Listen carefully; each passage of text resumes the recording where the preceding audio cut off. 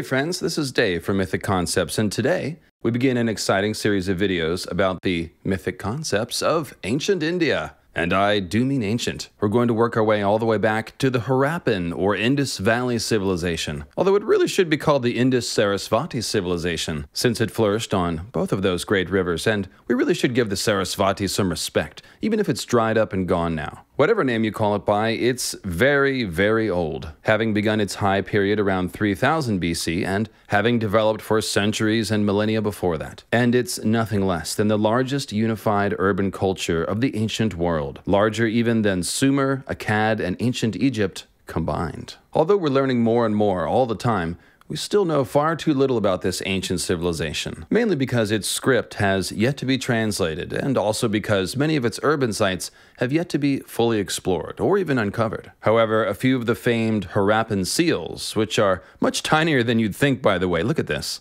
do appear to have religious or mythological imagery on them, which means that you are looking at basically the oldest mythic concepts in India for which we have any sort of record. In particular, much has been made of the so called Pashupati seal, which appears to depict a horned, meditating figure that looks a lot like Shiva, with Shiva, of course, being the deity who is later associated with Tantric Yoga all throughout Hinduism and Vedic mythology. This potential proto Shiva is surrounded by animals, as you can see, and that's a characteristic of a form or incarnation of Shiva known as Pashupati, which means Lord of Animals, hence the nickname of the seal. These identifications are, of course, tentative since we haven't translated their script and aren't even totally sure about what language they spoke, although we have a couple of guesses and we'll get to that later. However, for a few months, I've been sitting on a couple of observations that I made about this seal and a few other seals that also depict this horned meditating figure that could potentially add weight to the theory that these seals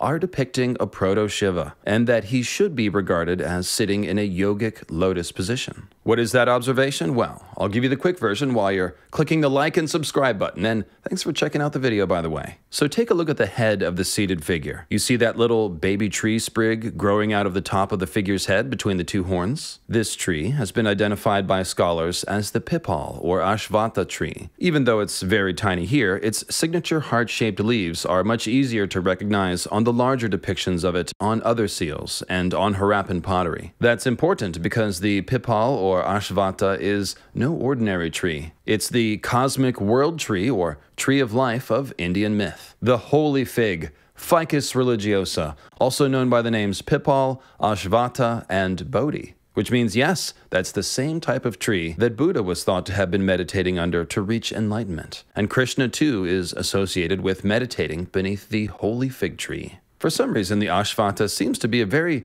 under-discussed world tree in mythology circles, and I really don't know how that happened, both because it's associated with the famed personages of Buddha and Krishna, but because the Ashvattha clearly stands out from the forest of cosmic world trees in its own right. What with it growing upside down from, from space. space. That's right, a tree with roots above in the heavens. It's quite the esoteric mystery, which we'll have a lot of fun unpacking. Most importantly, the Pipal tree has been consistently associated with meditation from Vedic times all the way through the present. And that means that finding it on the Harappan seals, specifically in the context of the possibly maybe meditating proto Shiva, lends significant weight to the hypothesis that these are meant to be depictions of a meditating proto Shiva seated in yogic lotus posture. The ramifications of that are very significant. It would mean that some of the major building blocks of religious practice and belief of Vedic India, which gave birth to Hinduism as well as Buddhism and Jainism, have their roots in the ancient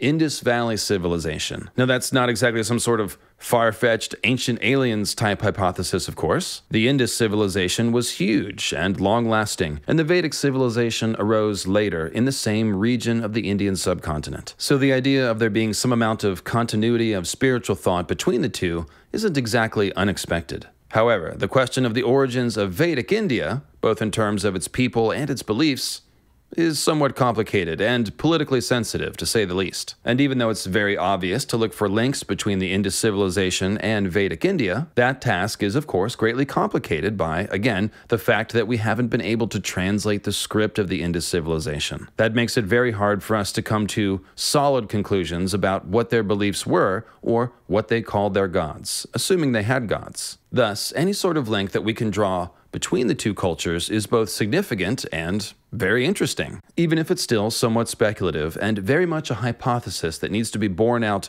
by other lines of research. There's a lot more to it, but that's the quick version. So here's what I have planned for this video series. In this first video, we'll review a brief summary of the latest scientific research into the origins and early evolution of the Indus and Vedic civilizations. This is the historical context that we need to know in order to draw any sort of link between the beliefs of these two cultures. The history here is really fascinating, and although I'll obviously be summarizing a lot, I've included a nice set of research links and further reading in the description below the video, so you can explore that further on your own. The history here can also be a touch controversial, as I mentioned, and that's why I decided to tackle the subject head on before we start analyzing the Harappan seals for symbolism or discussing the mythology of the Ashvattha tree in Vedic scripture. In the second video, we'll shift our focus to those Harappan seals and the meditating, possibly maybe Proto Shiva, and the possibly maybe Ashvattha tree growing out of his head, so that I can fill you in on the rest of what we have to go on in terms of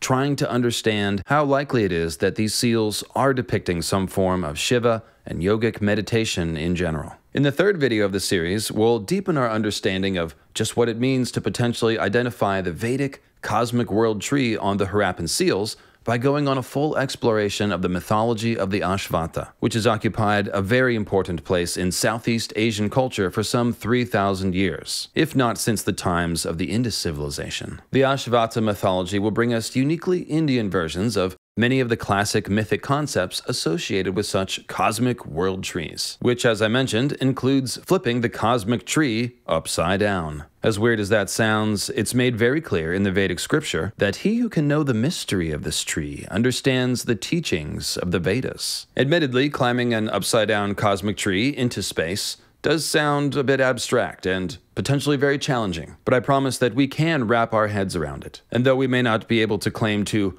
fully understand the teachings of the Vedas afterward, we will have gained a better understanding of Hinduism and yogic meditation in general. So buckle up, click the like and subscribe button, and let's talk about Harappans, Indo Aryans, and the origins of India.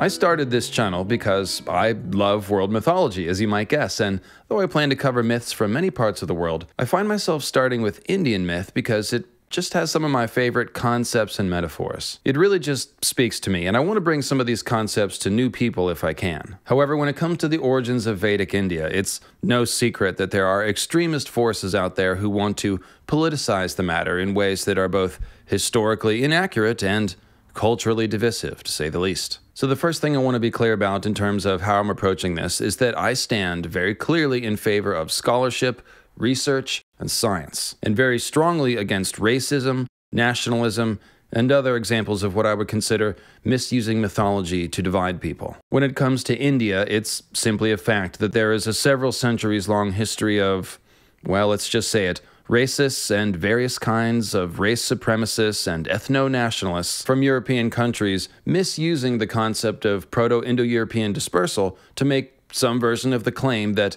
white people built everything. Specifically, the claim here is that ancestral Europeans basically rode into India, conquered the more primitive natives with fire and sword and wheeled chariot, and then wrote the Vedas and gave India its culture. This was originally called the Aryan invasion theory, and even without that title, you will find many people throughout recent history and to this very day essentially implying some version of this scenario, often with a very ugly political or social agenda behind it, but sometimes just from listening to bad information. The modern scientific consensus on this, supported by essentially all mainstream scholars and founded upon linguistics, genetics, archaeology, comparative mythology, and many other disciplines, and do check out the links in the description of the video, is that there was, in fact, a significant migration of people with steppe ancestry from the area of the Ural Mountains and the Oxus River into northwest India in the late 2nd century BCE. Scholars refer to these groups as Indo Aryans when they arrive on the doorstep of India. Before that, they had splintered off from a group scholars call the Indo Iranians or Proto Indo Iranians, and those would be the steppe peoples of the Sintashta and the subsequent Andronovo cultures in the Russian and Kazakh steppe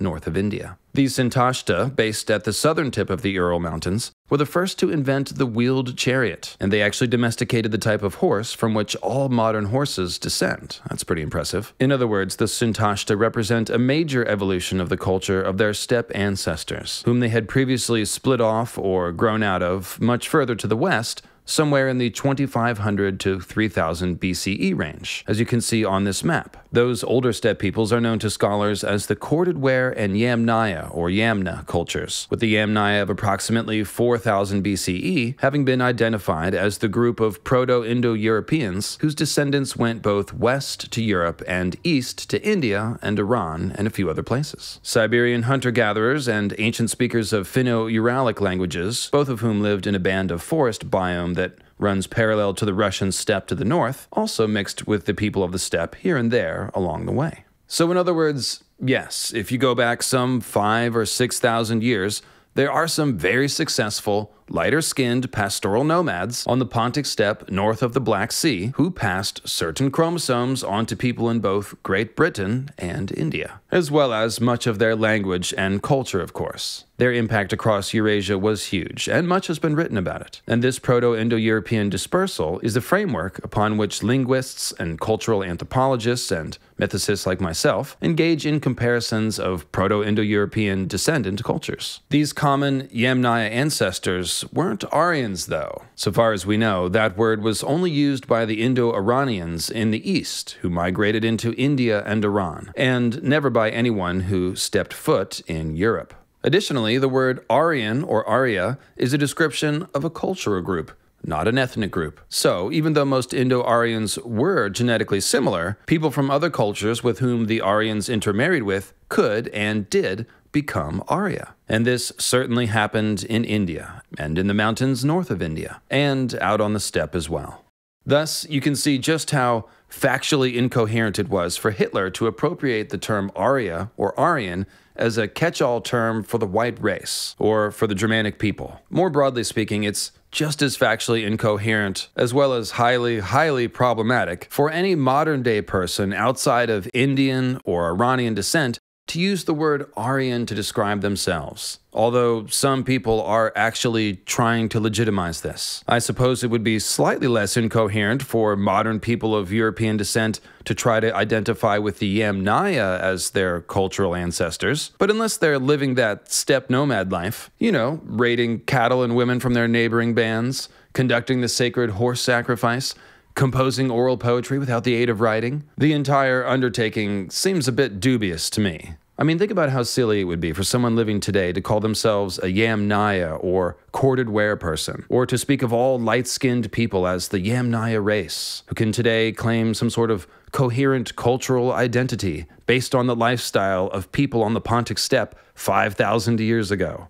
It just doesn't really make sense, does it? Now, as to the Indo Aryans who did migrate into India, well, there turns out to be many, many things wrong with the invasion theory. And the more complex truth turns out to be quite interesting, albeit less suitable to extremist political agendas.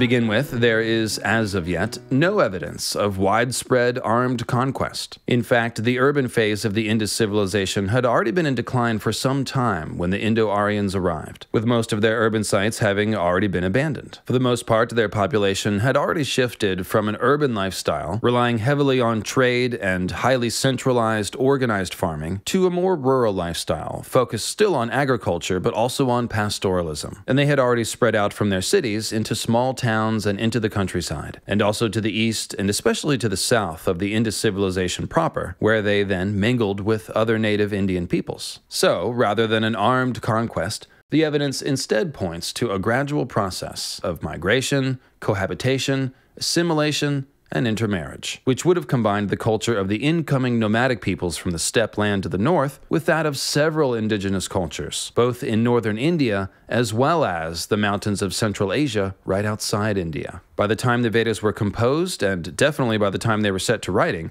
this process of assimilation was already well underway, leaving us with the mystery that I want to begin addressing with these videos the question of what parts of Vedic culture and myth were brought in by the Indo Aryans, which we know a lot about, and what parts already existed in India, which we know less about. Not for the sake of fighting over who owns a mythical deity or belief set, of course, which I would again argue is both divisive and nonsensical, but because the Indus civilization was so advanced, widespread, and long lasting, and too little is known about its influence on later Indian culture due to its untranslated script. I also tend to think that, in general, a little too much emphasis might be placed on the Proto Indo European migrants as opposed to the cultures that they assimilated with. Now, don't get me wrong, the Proto Indo European migrants definitely wielded huge cultural influence wherever they went, and again, much has been written about that. However, they were also quite malleable to the language, customs, culture, and beliefs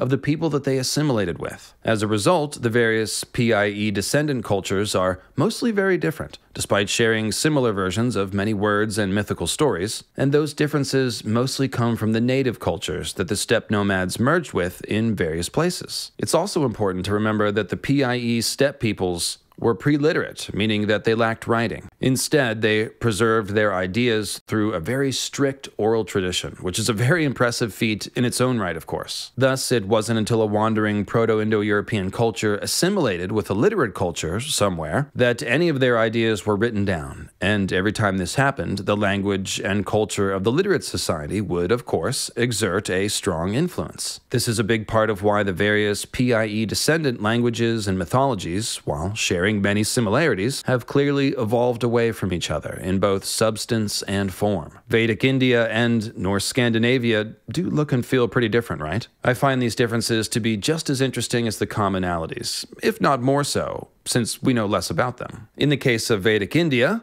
the culture that came before was, of course, the great Indus Valley civilization, which, as I mentioned, spanned the rivers Indus and Sarasvati, as well as much of the adjoining foothills to the west and the northwest. Its high period of urban development, called the Harappan period, was between 2700 BC and 1800 BC, but its developmental stages stretch all the way back to at least 7000 BCE at Mehrgarh and elsewhere. Over 1500 of their urban sites have been found, and the population of the Indus is estimated to have been as high as 5 million. That may not seem like a lot now, but compare that to the estimated 280,000 or so for the civilizations of Sumer and Akkad. 5 million, that's it's actually pretty huge for an ancient civilization. It's again the largest in the ancient world. In this Harappan period, the people of the Indus replicated a standardized method of city building across dozens of urban sites all throughout their territory. And whether great or small, they always followed the same template, with some degree of regional variance.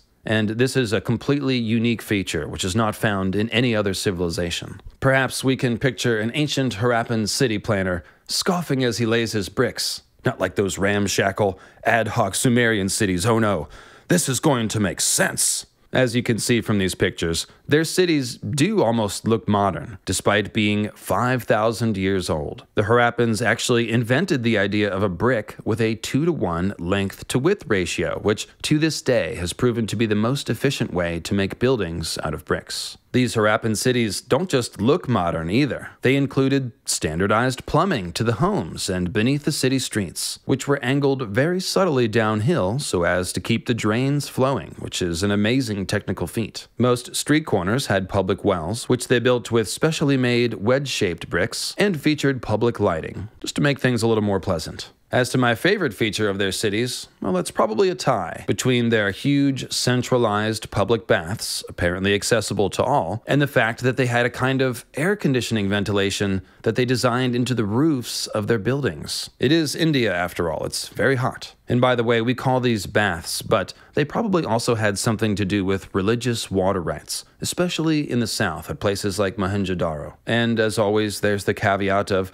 us not being quite sure for lack of being able to read their script. The people of the Indus also smelted high quality bronze, and they traded their famed carnelian beads and various other prized goods, such as lapis lazuli, to Sumer and Dilmun, and perhaps Egypt. And wherever they traded, they left their seals behind to tell the tale. The Harappans actually visited Ur and other Sumerian cities so much that they had permanent living quarters there, and Sumerian and Indus Valley art has been shown to have influenced one another. One Sumerian seal depicts a translator from Meluhha, which is the Sumerian name for the Indus civilization, and uh, I do believe this Sumerian gentleman is wearing a horned hat with a tree growing out of it. More on that in the next video. Finally, it seems that the ancestors of the Indus civilization probably independently invented farming at a place called Mehrgarh in the mountains of modern day Pakistan. And by independently, I mean independently of the Fertile Crescent in Anatolia, where farming was first developed. For example, the crops grown at Mehrgarh came from the local area and from Southeast Asia, as opposed to the Middle East. And new genetic studies also show that the Anatolian farmer population that spread farming all over Europe and the Near East did not reach as far east as India. The domestication of the first crops suitable for agriculture is, of course, a huge topic on its own, and research is still ongoing in this field. But suffice it to say that we certainly do know that the people of the Indus civilization were very successful farmers who grew a variety of crops to feed their relatively huge population. In addition to food crops, the people of the Indus were actually the first in the world to domesticate cotton, and textiles were in general a specialty of the Indus civilization, which dedicated large facilities to weaving and storing textiles, as well as producing indigo dye. Best of all, textiles provide another significant avenue of proven cultural continuity between the Indus and later India. Distinctly Indian styles of dress, such as the sari, textiles with mandalas, and arm bangles, as well as turbans of various styles, all existed in various areas that became part of the Indus civilization and still persist to this day in those areas. I've linked to a video from Harappa.com where archaeologist Mark Kenoyer gives a detailed lecture on the Indus textiles. And there are many more examples of specific styles and weaving techniques that have persisted for 5,000 years. One really could go on for hours and hours talking about the wonders of the Indus civilization. But since we don't have hours, I've left the links to my favorite sources on them in the description below, so you can check that out yourself. The bottom line here leaves us with two facts. Number one, the people of the Indus civilization were incredibly advanced and incredibly widespread, and although their urban sites were already in decline when the Indo-Aryans arrived, there is ample proof of continuity between the late stage Indus civilization and what is considered early Vedic India. For example, we find the pottery of the Vedic painted gray ware culture in several of the late Indus period cities, indicating some kind of relationship of trade and exchange. When the Vedic peoples got around to building their own cities on the Gangetic Plain around 1000 BCE, they kept the unique Indus tradition of public central baths and public wells, and they also changed the width of their their horse chariots to match the already established wider wheel ruts from the ox carts of the Indus civilization.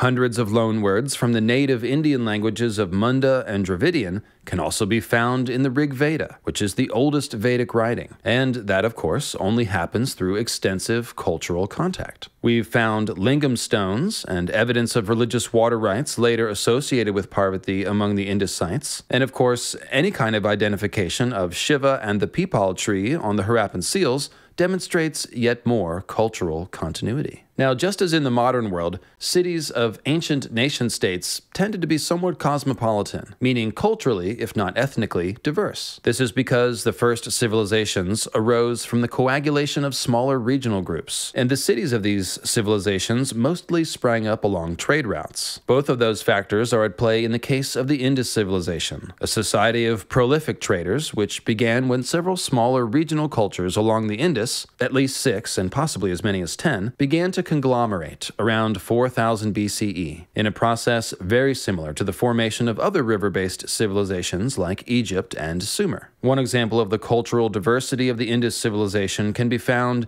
in the six distinct types of contemporary burials that have been found at Mohenjo-Daro. Generally speaking, burial customs are unique to a given culture, and thus diversity of burial is a pretty good indicator for diversity of culture overall. As far as what language was spoken by the people of this ancient civilization, the two I just mentioned, Munda and Dravidian, are definitely the top two candidates for an Indus wide language. And though that question is still up in the air, there is in general good evidence for a multiplicity of tongues being spoken in the various parts of their territory. We should also keep in mind that the Indus civilization would have exerted cultural influence over an even wider area through trade and contact. So even the other indigenous Indian cultures who then later assimilated with the Indo Aryans would have already been influenced by Indus culture, if not the actual outflow migration of the Indus people after the deurbanization of their society. Recent genetic studies indicate that the Indus civilization genetic makeup was a mix of an ancient Iranian hunter gatherer population, which broke away from the main Iranian group around 10,000 BCE, and native peoples of India, who are referred to as ancient ancestral South Indians. And those would be hunter gatherers of Austro Asiatic descent, similar to the people of the Andaman Islands. Various other peoples from the Himalayan mountains north of India and other places in the hinterlands also filtered into the cultural stewpot, as those hinter Hinterlanders are wont to do. The result was a distinct Harappan genome, which had no steppe ancestry as of yet, and this genome actually went on to become the largest donor to the gene pool of not only modern day India and Pakistan, but all of Southeast Asia. In other words, it's very important that you don't think about the people of the Indus civilization as having disappeared. They didn't. They just stopped hanging out in cities. Overall, they still would have outnumbered the Aryan tribes who migrated in. And that's reflected in the genome of modern day India, which contains significant steppe ancestry, but skews much closer to this ancient Indus genome, with more steppe ancestry among those in the north. So that's the Aryan migration, at least the broad strokes of it. However, there's just a little bit of land between the Russian steppe and the Indian subcontinent and the people who lived there had a role to play as well.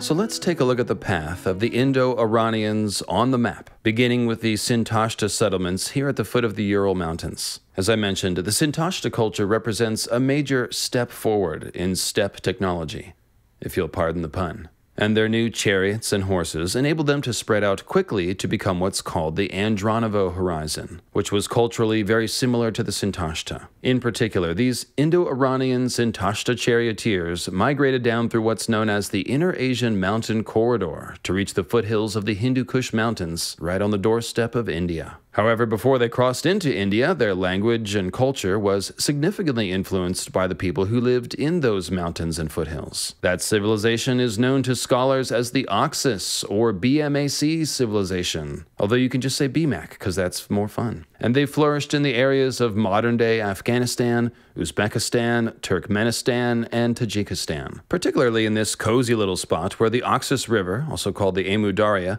flows down from the mountains onto the steppe and, back then, into the Aral Sea. The high period of the Oxus civilization was between 2300 BC and 1700 BC, and they appear to have grown out of older indigenous cultures in that area. BMAC is short for Bactria Margiana Archaeological Complex, a name derived from two civilizations which sprang up later in the same region, Bactria and Margiana. Now, scholars aren't quite certain about the level of political unity between their urban sites, and it should be noted that their cultures spanned much more than the headlands of the Oxus River. The Oxus civilization was primarily an urban and agricultural one, but they also exerted influence over a larger area, and even included its own group of pastoral nomads who wandered the open lands between the Oxus River and the Aral Sea. As you can see on the map, you can't get to India without passing through the lands of the Oxus, and the Indo-Iranians and Indo-Aryans seem to have done a little more than just pass through. Some groups of Indo-Aryans almost certainly intermarried with the people of the Oxus, and the Indo-Iranians who went into Iran definitely did, though genetic evidence is unclear on how much, and there is still scholarly debate happening around the issue.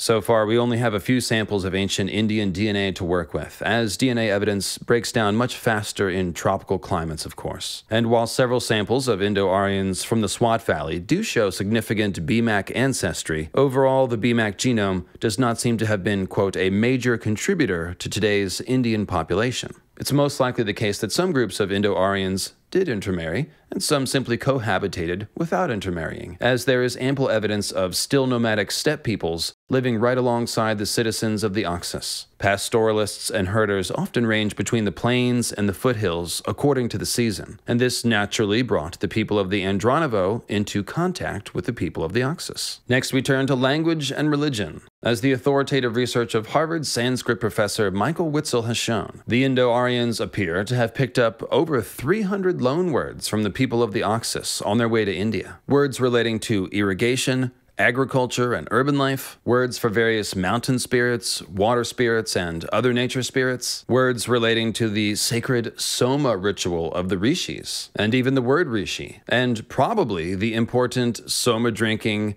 Vedic deity Indra, who seems to be a combination of classic PIE storm god attributes and a local BMAC deity. Professor Witzel also pointed out that the standard dragon slayer myth of Proto Indo European cultures seems to have been influenced by the religious beliefs of the BMAC. Typically, the slaying of the dragon leads to the release of either cows or women, which as you'll notice, are the two things the steppe peoples love to steal from one another. But the later Indian and Iranian myths of slaying world encircling chaos dragons like Vritra now release bound up waters instead. And this is an idea that apparently stems from the fact that all the rivers in that area flow from glacial meltwater in the Himalayas and Hindu Kush mountains. This reality is evident in lines such as these from the Rig Veda Mandala 1 Hymn 32, and this is verse 1 and 2. Now I shall proclaim the heroic deeds of Indra, those foremost deeds that the mace wielder performed. He smashed the serpent, he bored out the waters, he split the bellies of the mountains. He smashed the serpent resting on the mountain. For him, Tvashtar had fashioned the resounding sun-like mace. Like bellowing milk cows streaming out, the waters went straight down to the sea.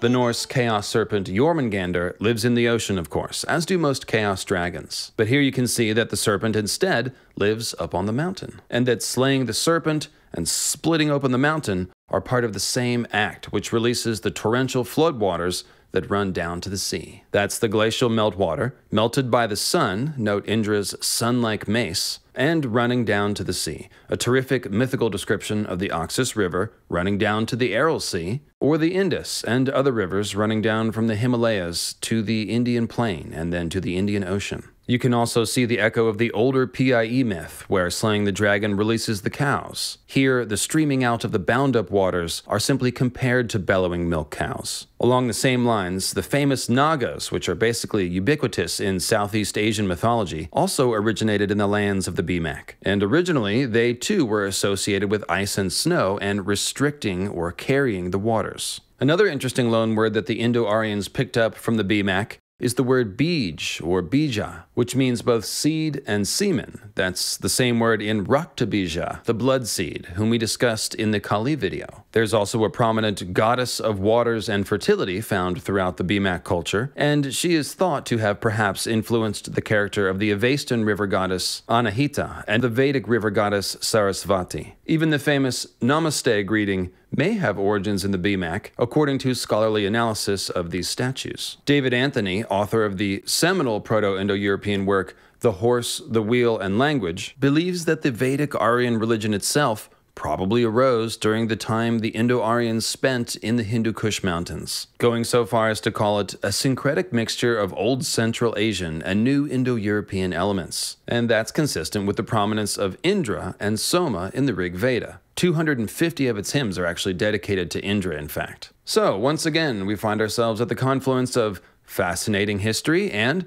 Another reason why the Aryan invasion theory is wrong. Specifically, the idea that genetic Europeans rode into India and gave it its culture hits some pretty major rocks here. That's a the Hindu Kush Mountains are pretty major rocks joke. No, but seriously, you can see that the Aryan culture was already evolving quite significantly before it reached India. So scholars such as Witzel and Anthony and others tend to think that, in general, there was a major Indo-Iranian and Indo-Aryan cultural evolution, if you will, in the mountains of the Hindu Kush. Not sure if the Soma had anything to do with that. Based on findings in the grave sites of the Oxus civilization, we know that the Indo-Iranians and Indo-Aryans began filtering into the Oxus around 2100 BCE, and were definitely coming through in greater numbers by 1700 BCE, which leaves several centuries before they would have reached India, time in which the two cultures would have mingled, added to each other's vocabularies, maybe sat around the campfire drinking a little soma, and probably intermarried a little bit. There may, of course, have been some level of local conflict as well, but once again, we just don't find any archaeological evidence of any kind of widespread armed conquest. One other thing to note when I talk about loan words and exchanging words, I'm only talking about language here, not any sort of written script. The Oxus peoples only had a very primitive pictographic script, somewhat comparable to early Harappan script. So I'm only talking about spoken language exchange between the Oxus and the steppe peoples, who spoke a form of Proto Sanskrit, which had probably been evolving since the Sintashta days. What's interesting to learn is that sometime after hitting these mountains of Central Asia, the Indo Aryans and Indo Iranians basically split and went three different directions. And the current state of their very similar spoken languages basically gets snapshotted each time they reach a place with writing or develop a system of writing to write their ideas down. So, first, sometime around approximately 1600 BCE, a group of Indo Aryans streaks off to the west, somewhat mysteriously, and becomes the Mitanni people of northern Iraq and Syria. Their language is very, very close to Indian Vedic Sanskrit, and it gets written down in cuneiform when the Mitanni set up shop in the Middle East. They worshipped Vedic gods, called themselves by Vedic names and titles, and they even brought Indra with them, so it seems that some amount of Bhimacicization, if you will, had already happened by this point. Now, if we could ever recover the royal libraries of the Mitanni, then we'd have a great clue about the state of development of the Indo Aryan culture right when they hit India, as the Mitanni language and culture really would be like a snapshot or time capsule of where the Indo Aryans were in their cultural development right before they entered India. Sadly, we have yet to find their fabled capital city, Washukanni. But if we ever do find it, we'll know how to read the Mitanni records because we know how to read cuneiform. All right, so next, a few groups of Indo Aryans move into the mountains to the east of the Oxus and north of India, where the language mutates into what's known as Nuristani. And there are even a few surviving peoples who speak this dialect in those same mountains today. Shortly thereafter, as early as 1400 BCE and not later than about 1200 BCE, Indo Aryans enter northwest India and immediately encounter the people of the mostly deurbanized Indus civilization, where they mingle in towns and in the country. It's hard to say exactly when the Vedas are set to writing, Beginning by approximately 1000 BCE at the latest, the Vedas are coalescing, let's say, into their canonical form in Kuru, one of the early Vedic kingdoms, and by 500 BCE, they're being written down in Proto Brahmi script. As to when the Vedas were composed,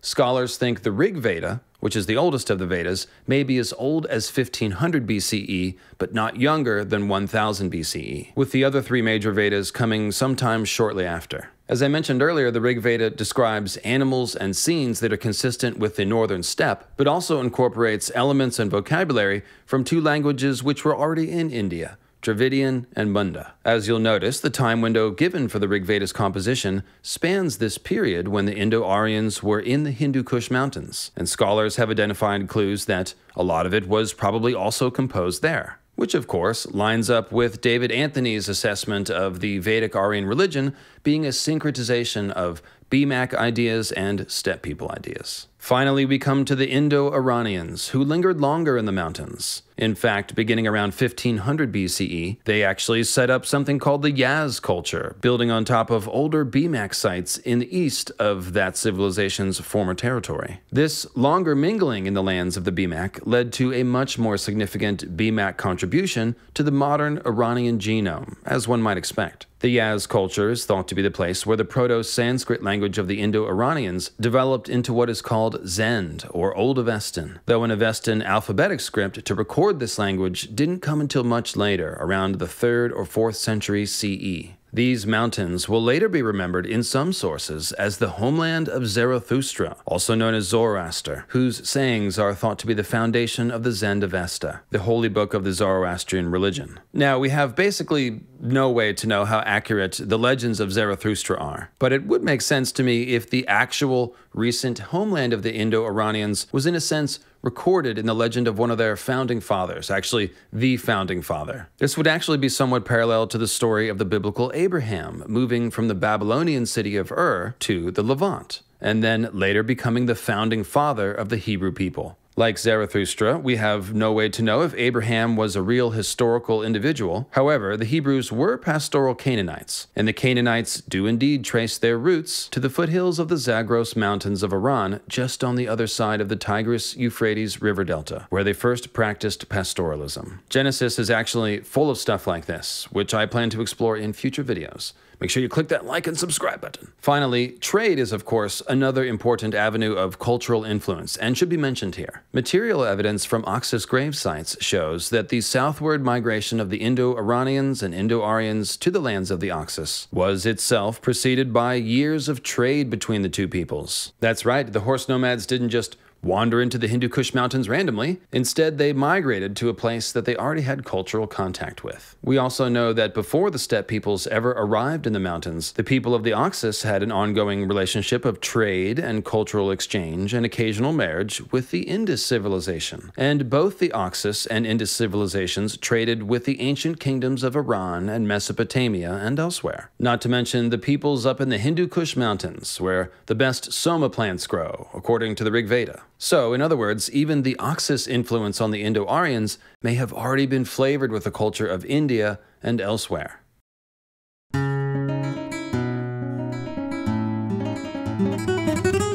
So, what does all this mean? Well, it means that although the Rig Veda clearly reflects a Proto Indo European pantheon and contains many clues that large parts of it were composed on the steppe and forest steppe to the north and preserved through a culture of strict oral tradition. It also incorporated many ideas, beliefs, and perhaps even deities of the people of the mountains on the way to India and the people who are already living in India. This seems like common sense, of course. Cultures always rub off on one another when they have contact, and we have ample evidence of both cultural mixing in the Hindu Kush Mountains and of some level of cultural continuity between the very late Harappan period and the early Vedic tribes. Although I want to be clear, Vedic India is not a continuation of the Indus civilization. It's just that there are some amount of links and some things that pass down from one to the other. How not, right? I mean, the Indus civilization was incredibly advanced and long lasting, and would have already left its mark on everyone living in India at that time. So, even though it was in its late stages of decline or de urbanization when the Indo Aryans arrived, of course it should be expected that Vedic culture would include some of their concepts, beliefs, and practices. Similarly, the Oxus civilization was wealthy and influential, and the Indo Aryans seem to have spent several centuries there before reaching India. So, of course, there's going going to be cultural influence. Thus, both common sense and hard evidence show that the idea of genetic Europeans riding into India and giving into its culture is a gross oversimplification to the point of being factually incorrect. But as I mentioned, some people are still making this claim to this very day, on this very YouTube, even. I know, I know. That's part of why I decided to address all this directly before getting into the rest of what I want to talk about in this series. Those of you researching ancient cultures and especially Proto Indo European stuff on the internet know that there's a lot of people out there saying a lot of things. And I think it's important to both get the history right before we go any further, as well as to understand the more extremist voices that can cloud the conversation, if you will. Speaking of which, it must also be said that there are specific groups inside of India who want to deny that there was ever any migration of steppe people into India at all, proposing instead that the commonalities in language and mythology between India and the rest of the Proto Indo European cultures from Asia, Eastern Europe, Western Europe, and the Mediterranean originated in India and spread outward from there, with the genetic commonalities perhaps having some unknown, far more ancient origin. This is called out of India theory, or OIT, and there's no scientific evidence for it whatsoever. And in fact, it's been specifically debunked from several angles. In particular, I'll refer you to two linked videos below from World of Antiquity which specifically takes on the out of India theory. And this isn't a European scholars thing either. Mainstream Indian scholars and geneticists also reject out of India theory and acknowledge the facts of the Indo Aryan migration. The plain facts are that this theory was designed by people with a nationalist agenda, and it simply doesn't hold up to scholarship. It's also based on kind of a curious notion of what counts as Indian. Indo Aryan peoples arrived in India 3,200 years ago, but somehow that doesn't count. What about the Iranian farmers who came to India 9,000 years before that and became part of the Indus Valley civilization? Is that okay, or is that still too foreign? How many generations of intermarriage must occur before somebody can be said to be from somewhere and no longer an interloper? As you can see, this entire idea is premised on the fantasy of a culturally pure India, which is undefiled by outsiders. And that's just not something that could ever be possible in a place that has been a crossroads for humanity ever since Homo sapiens started migrating out of Africa some 60 to 80,000 years ago. Everyone is an immigrant if you go back far enough because people don't grow out of the ground, of course. Now, with all that said, I hope you can understand why some people in India might gravitate towards a theory that attempts to reclaim Indian history from European colonialists and race supremacists, right? That's actually a little bit of what I hope to do with this series of videos about Harappan seals and Indian history, though of course I'll be attempting to do so with responsible scholarship and just a little bit of responsible speculation, but not, of course, a denial of the Indo Aryan migration, which definitely happened. I also want to add that not everyone who supports or entertains some version of out of India theory is an Indian nationalist, and actually, not all political Indian nationalists support out of India theory. I genuinely do think that people are attracted to out of India theory for understandable reasons, and I think the people who aren't from India do need to remember that, to put it bluntly, it really sucks to have Hitler appropriate your symbols or to have colonial Great Britain show up at your doorstep to make you the next colony. Nevertheless, the facts are what they are, and the truth is, of course, much more complex than any politicized version of history would try to convince you of. Indian culture, like every other culture of the modern and ancient world, did not develop in isolation, but it is very old and very rich, and the strength of its ideas are testified to by its persistence, evolution, and influence. Proto Indo European language and culture may not have come out of India, but of course, a lot of other knowledge and scientific breakthroughs did. And going further, we can observe that our modern world has arisen from the mingling of concepts, ideas, and inventions from every part of the world. Nobody living now laid a single brick of these ancient civilizations, but everyone living now lives in a world shaped by them, and thus we can all benefit from learning about them. As my Indian born Canadian friend recently said to me, racism is kind of like a mirage on the horizon the closer you get to it, the premise for it simply disappears. So, to sum up, Indian culture and mythology are amazing, and I'm here to celebrate them and to explore some of the more esoteric corners of its mythology. What we're going to do in this series will be a great example of the sort of cultural assimilation that we just talked about. We're going to see how the sacred world tree of Vedic myth and its modern descendants of Hinduism, Buddhism, and Jainism incorporates both PIE ideas, having many things in common with the cosmic world tree of Norse mythology, for example, Yggdrasil, as well as the ideas of the Indus civilization. The latter is a bit more speculative, of course, but that's why I'm making these videos. And as I mentioned, the Ashvattha tree has already been identified on tons of Harappan seals and pottery. And I believe that closer examination of a few of those seals will strengthen the hypothesis, still a hypothesis, that there is some sort of proto Shiva and yogic meditation being depicted on the Harappan seals, and that they were already linking the Pipal tree to meditation. So thanks for watching everyone and make sure you click that subscribe button on the way out so you don't miss our next video where I'll try to interpret the symbolism of the Harappan seals. I said Harappan seals, not Rappin seals. Nobody could interpret Rappin seals. We don't even speak seal, and we wouldn't know the seal rap lingo even if we did.